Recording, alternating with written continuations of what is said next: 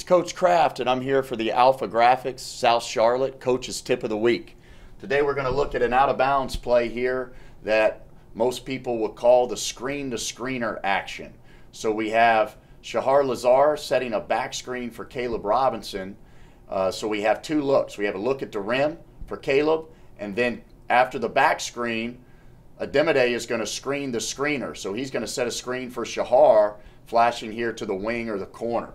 So we got two options here on the play. Shahar sets a great back screen, which is really important, either to get Caleb open at the rim or it's going to draw the defense to defend Caleb and free up free up Shahar, then cutting to the corner or the wing.